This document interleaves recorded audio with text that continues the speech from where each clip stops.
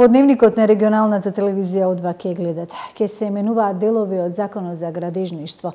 Секторот за внатрешни работи од Охрид евидентира помалку сообраќајни незгоди во изминатата туристичка сезона. Финишираат подготовките за зимата. На што ке се затоплуваат домовите? Ова се само дел од настаните кои што ги обработувавме во обичаено и денеска изборна хранка, како избор на вестите од светот и спортот. Градежните Конструктори со забелешки за постојните закони од сферата на градежништвото сугерираат промени на четири закони. Оној за градење, за урбанистичко планирање, на Законот за градежно земјиште и Законот за експроприација. Своите ставови градежните конструктори ги проследиле до ресорното министерство, од каде што велат дека веднаш по локалните избори ќе има измени во четири закони од градежната сфера. Што се однесува до податоците на Државниот завод за статистика, според кои градежниот сектор, кој што е водечка стопанска гранка и двигател во економијата, бележи пат од 17,3%. Министерот Сугаревски се брани според него тие податоци се однесувале на вториот квартал од годината. правиме обидиме и кој е в случувањето на анексот, на пример. Анексот знаете дека до 1 мај автопатот Миладиновци Штип требаше да биде готов. И некој друг треба да каже зошто не е готов. И сега сите оние работи кои што биле провозани предходно со одредени плаќања, ви земам само еден пример. Сега со случувањето на анексот се разбира дека ќе треба да се случат. Така да, после 1 мај не можело тоа да се прави, бидејќи не бил склучен анекс на договор. Сега со склучувањето на анекс, на пример, кинеската компанија одма ќе може слободно да исплаќа на македонските фирми и што ми беше една од целите да пред вакуум просторот со неработењето на, на собранието ради локалните избори, да тоа се случи. Ви зедов само еден пример. И серија други мерки поврзани со капитални инвестиции, што ги планираме да прават, се надеваме дека ќе окрени растот на градежништвото. Министре, дали да речеме доколку до февруари нема, нели се се пробија рокот до февруари за Милдиновци Штип, има пенали за Значи не е рокот до до февруари. До февруари е рокот поврзан со пеналите и со клеймовите односно штетните побарувања. Станува збор за септември 39. Значи така да не е рокот февруари. 1 февруари е рокот за Кичиево Охрид, а за Миладиновци Штипе 39. Ви благодарам. Имаме доста проблеми. Да речеме, прва и основен би го потенцирала, би ја потенцирала категоризацијата на објектите, која што мислам дека во постојниот закон за градба не е адекватна, условите за, добру, за добивање на овластување за проектирање, кои што треба да бидат можеби построги, да се подигне квалитетот на изработката на проектите, на контролата на проектите. Значи имаме доста работи за кои што требаме да, да дискутираме и јас сега тоа не би го елаборирала во детали, затоа што би требале многу долго да зборуваме. Имаме доста замерки, како фела. Според аналитичките податоци на секторот за внатрешни работи од Охрид, во текот на овогодинешната туристичка сезона во Охрид се случиле 70 собраќајни неизгоди, додека во истиот период лани биле регистрирани вкупно 78, информира порперолот на секторот за внатрешни работи од Охрид Стефан Димовски. Со посебно задоволство би можел да кажам дека Во текот на јули и август оваа година Савар Охрид евидентира вкупно 70 случајни собраќајни незгоди на целото подрачје, што представува намалување за 8 собраќајни незгоди во однос на истиот период лани. Оваа бројка може би е за некого мала, за некого е голема, меѓутоа за нас е индикативна дека се вкупните активности на полициските службеници насочени кон намалување на бројот на собраќајните незгоди сепак вродиле со плод и Тоа дава за право да со истото темпо продолжиме и понатаму да го оградиме нашиот однос во насока на подигнување на степенот на безбедноста во собраќајето. Исто така, можне значено е да напоменам дека бројот на случајни собраќајни незгоди е индикативен, односно за среќа во овие два месеци ние немаме регистрирано собраќајни незгоди со жртва, додека во истиот период лани, значи јули и август, сме имале две собраќајни незгоди со четири жртви. Исто така и во делот на случајни собраќајни незгоди кои што резултирале со лесни и тешки телесни повреди бележи тенденција на намалување и како што кажав, тоа е една охрабрувачка бројка која што ни дава за право дека се вкупните мерки на превентивен, но и на репресивен план вродуваат со плод. Финишираат подготовките за зимата. Грејната сезона официјално започнува на 15 октомври, но регулаторната комисија донесе одлука грејњето да се пушти доколку прогнозата на управата за хидрометеоролошки работи за следниот ден предвидува температура пониска од 12 степени. Ова е зони и места каде што има централно грејење. А кај нас, одва на терен ги запраша охрејани дали се подготвени за зимата и со што ќе го задоплуваат домот. За 10 дена започнува грејната сезона. Граѓаните подготвени за долгата зима. Ние се грееме на термо. Дали е наисплатливо? Поима немам. Зависи од покачување на струјата, еве ефтина ни дадоа. на место 3-2 сата ни дадоа и така. Па мислам дека е на дрва нај, најубо. И ваздухот, и топлината, и све. На дрва, ние претежно на дрва се топлиме. Дрва да купи 250 е скапо, а бензија 7-8 мили. И што ќе прави? Со дрва, со дрва. Поќе работа има, тамо со дрва испратило е. Струјата е скапа, нафтата е скапа. Кој ќе видиш дрвото поевтино. И пилети она, ама и тие се скапи. Со дрва се грееме. Елем денеска ќе распише повик а на 10 октомври ќе биде одржана аукција за купување на 29,7 гигават часови електрична енергија. Електричната енергија што е планирана да се купи во октомври е наменита за ноември, кога ќе биде зголемена и побарувачката поради грејната сезона. Производството на елем во тој период ќе биде недоволно поради тоа што еден блок на рек Битола се уште ќе биде во ремонт. Во рек Осломеј се уште траат подготвителните активности за почетокот на производството и за дополнителни дополнителниот ископ на јаглен, кој досега не бил обезбеден, додека хидроелектраните не располагаат со доволна акумулација за потребите на производството во зимскиот период, соопштуваат оделем. Во соопштението се додава дека дополнителното количество електрична енергија потребно за ноември, Елим го набавува еден месец порано, за со навремениот повик до фирмите увозници да обезбеди подобра конкуренција и пониска цена. Од 1 јануари пак во 2018 година ова обврска повторно ќе ја превземе Евана, бидејќи резултатите од оваа година покажуваат дека Ново превземената обврска на Елим за купување на електрична енергија не го намали увозот и цените, туку напротив ги зголеми во споредба со годините наназад, кога увозот го вршеше Евана, односно од 44,6 евра за мегават час просечна цена за увоз во 2016 година, а во 2017 година просечната цена е зголемена на 74,1 евро за 1 мегават час.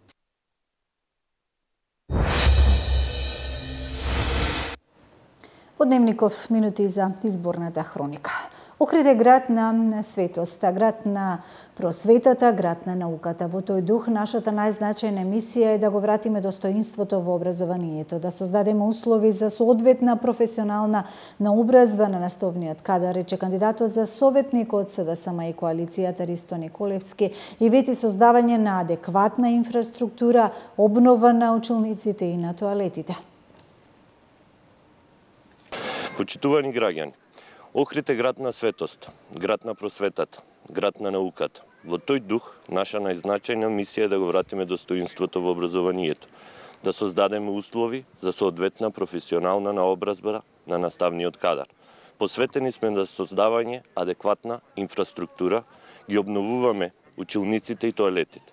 Предвидуваме изградба на четири нови спортски цали – во рамки на основните училишта Ванчо Николевски во Лескоец, Кочо Рацин, Братство Единство и во средното Угостителско училиште Ванчо Питошевски. Работиме на создавање позитивна клима во која наставникот ќе биде мотивиран да даде повеќе, а ученикот да научи повеќе. Затоа организираме семинари за наставниот кадар, за, та, за тоа како да се мотивираат учениците, како да се работи во групи, да се развиваат дебати. Организираме редовна настава во природа. Работиме во сегашноста за да ја создадеме нината. Токму поради тоа предвидена е додатна настава за талентирани ученици за развој на нивните вештини. Во Охридската гимназија во подкровјето го приспособуваме за собревена настава во кабинети, лаборатории и читални. Им помагаме на младите средношколци во изборот на нивната и на професија. Создаваме советувалиште за академско и професионално образование. Доделуваме бизнис стипендии за ученици и воспоставуваме врска помеѓу бизнис секторот и стручните училишта. Креираме советувалишта каде што ќе се покрене широка кампања за намалување на толеранција на насилство. Предвидуваме изградба на регионален центар за обука на наставен кадар во соработка со Министерството за образование во училиштето во село Трпејца. Во основното училиште Свети Климент Охридски креираме училиште од меѓународен отворен карактер. За да го зачуваме здравието на учениците, отвораме кантина во рамките на училиштата во која би се подготвувале здрави оброци. Носиме живот за сите, создаваме образование за сите. Квалитетни и препознатливи градиби, како и напредни услуги за граѓаните се необходен чекор за создавање и одржување на растот и развојот на Охрид. Остануваме на патот Охрид да го направиме квалитетно место за живење со светла иднина за охриѓани, рече денеска кандидатот за градоначалник од ВМРО ДПМН Емит Котилевски и најави реконструкција на градскиот плоштад Свети Климент Охридски и плоштадот Крушевска република. Токму на ова место овде го презентираме двата проекти како едни од главните идеи кои се дел од програмата која ќе реализираме во периодот од 2017-2021 година. Градскиот площад Свети Климент Охридски има потреба од проширување и дополнително уредување и за таа цел ќе се пристапи кон реализација на овој проект. Планирано е да се изгради нов и модерен площад со кој охриѓани и туристите ќе се гордеат нов и модерен лик ќе добие площадот Крушевска република. Со цел граѓаните да добијат уште едно уредено катче, да се постават канделабри со поставување на лед светилки за осветлување на площадот, изградба на фонтана, посадување садници и поставување клупи, канти за отпадоци и друга урбана опрема кои ќе бидат во склоп со площадот. Како СДС Охрид планира да ја прошири зоната на строгата заштита на остатокот од студенчишкото блато на цели 70 хектари. Дали тоа ќе се прави со експроприација на земја и како таа земја ќе се одзема од собствениците и најважното по која цена планиравте во СДС да ја платат земјава која што според најавите кои што ги дадоа мора да биде одземена од собствениците, праша денеска носителот на листата за советници од ВМРО ДПМН Кирил Пецаков. ВМРО ДПМН јавно ги прашува носителот на листата на СДС Константин Георгиевски и кандидатот Јован Стојановски да одговарат пред целата охридска јавност, но посебно пред жителите на Рача и пред сите собственици на имот околу заштитената зона на студенчишкото блато. Колку земја ќе се одземе за да се прави ново блато? Дали Константин Георгиевски и Јован Стојановски знаат кој го уништи блатото? Дали двајцата знаат дека целиот градежен шут од турнатата, од турнатата стара библиотека, кој се донесе во студенчишкото блато и тука се депонира токму во време кога СДС владееше со градот Охрид во 2008 година. Ево ова е принт, принт скрин од статија во Амак прес 2008 година, токму поврзано значи со ова со оваа статија. Дали двајцата тие знаат дека и асфалтниот пат на кој стоеше кандидатот за советник Константин Георгиевски е изграден на приватна земја? И дали знае дека собственикот на земјата може согласно закон да го гради просторот и патоа се затвори бидејќи минува низ приватна земја? И на крај, дали се прашува Константин Јован кој го изгради патот на таа приватна земја? Почитувани кандидати на СДС, Уште еднаш апелираме до вас да престанете со паушални пресконференции, непромислени ветувања. Граѓаните знаат кој како работеше во Охрид последнава деценија, свежи се сеќавањата на хаосот и финансискиот грабеж и лесно се споредува домакинското и одговорното работење кое го гледавме последните 4 години. И кандидатите од СДСМ со нови и своји активности. Кандидатот за Дебарца Зоран Ногачевски беше во Лешани, додека кандидатот за Струга Васила Шталковски беше во посета на Подгорци. Кандидатите од СДСМ продолжуваат со своите теренски посети. Кандидатот за Дебрца Зоран Ногачевски беше во Лешани. Како што вели Ногачевски ги слушнале нивните маки и проблеми, кои како и во останатите села биле речиси исти. Нерешени комунални проблеми, невработеност, мачна борба за екзистенција, но и ведар дух и желба за поубаво утре, изјавува Ногачевски. Во Лешани била одржана и средба со граѓаните на која присуствувал и министерот за транспорт и врски Горан Сугарески, кој дал полна поддршка и се ставил на располагање по победата на локалните избори да помогне за имплементација на проектите за живот во Дебрца. Активности имаше и кандидатот за градоначалник на Струга Васил Ашталковски. Тој заедно со кандидатите за советници во општина Струга и министерката за одбрана Радмила Шекеринска го посетиле селото Подгорци. Пред присутните жители на овие населени места, Ашталковски ја представил програмата за престојните локални избори. На средбата станало збори за секојдневните проблеми на жителите на ова населено место. Освен Подгорци, Ашталковски и Шекеринска го посетиле и Мислешево, каде што, како што вели Ашталковски, биле пречекани полно со енергија, со очекувања и искрени луѓе, а тие ќе возврателе со победа за живот. Изградба на пумпна станица, реконструкција на водоводни мрежи и каптажи вети кандидатот за градоначалник на Дебарце од ВМРО ДПМН на Игор Трајковски, доколку ја добие довербата од Дебарчани.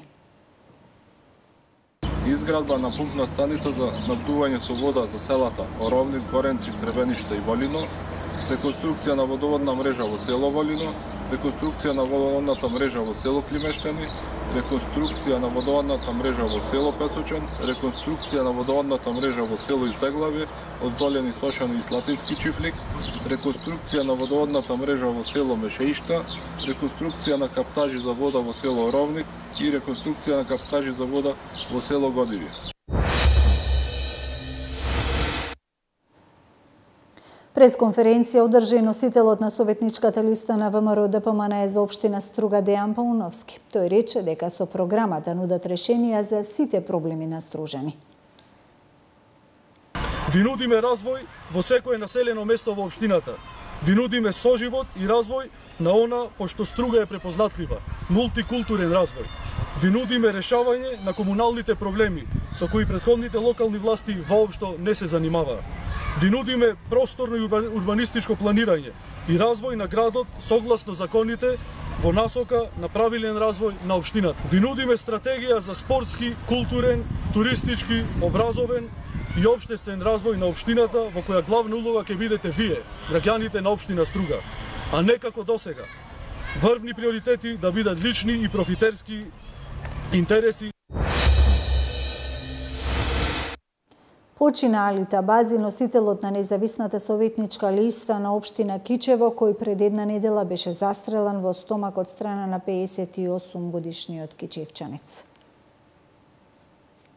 Почина Алита Бази, кандидатот од независната листа советници кој беше застрелан во Кичево. Од хируршката клиника информираа дека и покрај сите напори на лекарскиот тим Бази им подлегнал на повредите во 4 часот изутрината. Тој неколку дена се наоѓаше во критична состојба на одделот за интензивна нега со сериозни повреди на абдоменалните органи и повредите на арбетот и арбетниот столб. Алита Бази заедно со уште две лица беше застрелан од задгрб на 27 септември на булеварот Слобода во центарот на Кичево. Мотивите за неговото убиство се уште не се разјаснети. Полицијата по инцидентот го приведе 58 годишниот напаѓач, а судија на предходна постапка му одреди мерка притвор во трајање од 30 дена. Крвавиот настан се случил во екот на изборната кампања за престојните локални избори. До нивното одржување остануваат уште 9 дена. Убиството на Абази го надополни црниот биланс на искршени партиски штабови, пукање, физички пресметки, претепани кандидати за градоначалници по светот, а пред спортот уште една локална вест. Средношколците од електромашинскиот училишен Центар Светина Омохридски денеска беа во посета на регионалната телевизија У2. Тие се запознаа со начинот на работа и техничките можности на нашата ТВ куќа. Ученици од Обштинскиот електромашински училишен центар Светина Омохридски денеска беа во посета на регионалната О2 телевизија. Нивната посета беше во рамки на своите наставни содржини, запознавање со телевизиски прилози и емисии, нивно снимање и реализација. Учениците задоволни од посетата и од она што го видоа во телевизијата. Најмногу беа воодушевени од студиото, опремата и робот камерите, за кои рекоа дека не виделе во ниту една друга телевизија во Охрид. Ние на училиште учевме за тоа студија за медиуми. Исто така пред ова посетивме на телевизија, но овде повеќе разгледавме подетално, вие ни објаснавте. Исто така повеќе бевме заинтересирани за опремата овде и за процесот како се снима една емисија. Училиште учевме за тие студии, тие камери, дадовне тука во одва на посета да видиме како изгледаат.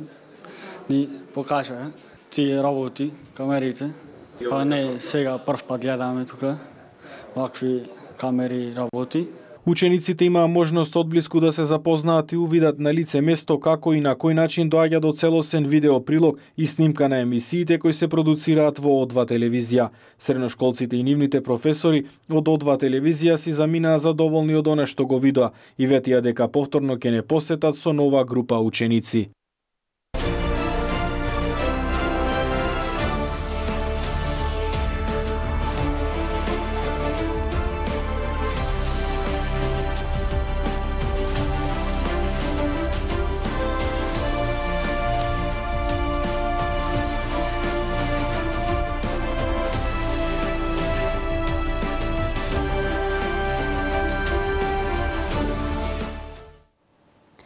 Со доделување на специјални признанија и со коктел Атлетскиот клуб Охрид прослави 40 години постоење.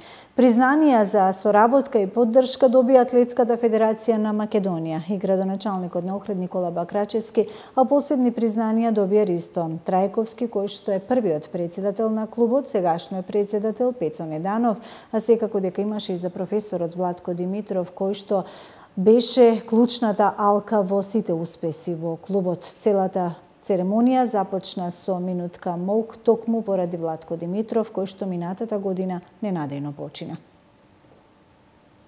Сум почестен од поканата која што ја добив од Атлетскиот клуб Охрид по повод одбележувањето на нивниот 40 годишен јубилеј, за што за мене представува еден чин на одговорност би се рекло како градски татко или како градоначалник на Охрид и сега како институција која што утре ќе наследи некој друг и предпоставам дека истата обврска за негување на е, спортот во Охрид и пред се атлетиката во Охрид ќе остане на оние кои што ќе дојдат е, после мене како градоначалници или како состав во локалната самоуправа. Наистина, денес сум пријатно изненаден од она што го слушнав од спортските работници, од атлетичарите, од раководството на атлетскиот клуб за успесите на нашиот најтрофеен спортски клуб во Охрид. И она што низ овие 40 години го прикажа овие вредни спортисти и успешни спортисти, а тоа се 50-те први места на државни надпревари, 100-те соборени државни рекорди во разни дисциплини и уште 3000 домашни меѓународни награди и признанија се наистина успеси за почит и респект од било кого, вклучително и за спортските работници во Република Македонија, и за спортските работници во Охрид и секако за атлетиката во Република Македонија. Јас ја користам ова прилика само да им го честитам јубилејот на членовите на атлетскиот клуб Охрид, да Да им посакам да се множат вакви јубилеи и секако да се редат успеси како на домашен, така и на меѓународен план. Низ многу прембрежја поминавме, меѓутоа кралицата на спортовите ни дала упорност и истрајност и така ето упорно, со упорност и истрајност успеавме да да, да, да, да обстаниме и да, да постигнеме резултати кои стварно се за, за, за секој мислам да се да се горде со, со тие резултати. Теквондо клубот Хваранките Фалеско со Охрид овој викенд ќе учествува на меѓународниот теквондо ИТФ турнир Добој, Добој Open 2017 во Добој Босна и Херцеговина, кој што е еден од најсилните турнири на Балканот. Новој турнир под водство на Маријанчо Лазаревски Црн појаш четврти дан поранешен светски вице шампион, 18 надпреварувачи на теквондо клубот Хваранките Фалеско со Охрид, 18 надпреварувачи ќе ги одморат силите во две дисциплини. Спаринг борби поединечно и форми поединечно. Неколку јуниори и сениори ке се надпреваруваат во тести снага и специјални техники. Се надеваме дека и овој пат представниците на теквондо клубот Хваранки Фалеско и Цохрид ќе не представат во најдобро издание и ќе не направат да се чувствуваме горди. Воедно теквондо, клубот Хваранки Фалеско и Цохрид користи прилика да изрази најголема благодарност до генералниот спонзор кој овој пат е најзаслужен за нивното учество на овој престижен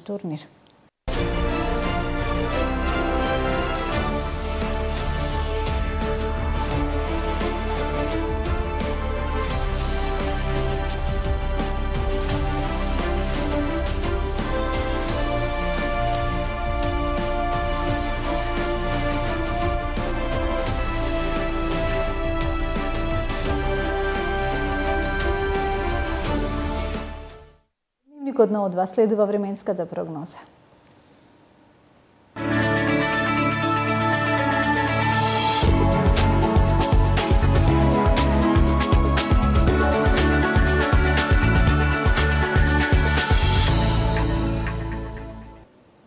До петок времето во Македонија ќе биде сончево и потопло со мала до умерена облачност. Викендов ќе имаме заладување и пат на температурите, информираат од управата за хидрометеоролошки работи. Од сабота, под влијание на нов влажен бран, времето ќе биде претежно облачно со повремени врнежи од дошт. Ке дува и умерен до засилен северозападен ветер, кој што ќе донесе значително заладување од север за десетина степени. Минималната температура ќе се спушти до 3, а дневната максимална ќе биде до 17 степени.